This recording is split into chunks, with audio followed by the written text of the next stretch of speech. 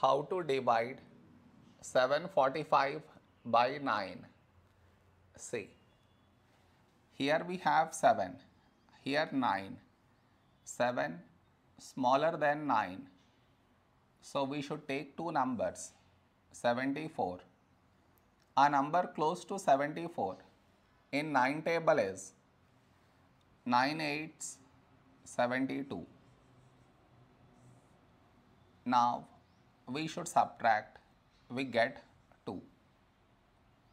After this, bring down the beside number. So 5 down, so 25. A number close to 25 in 9 table is 9 twos 18.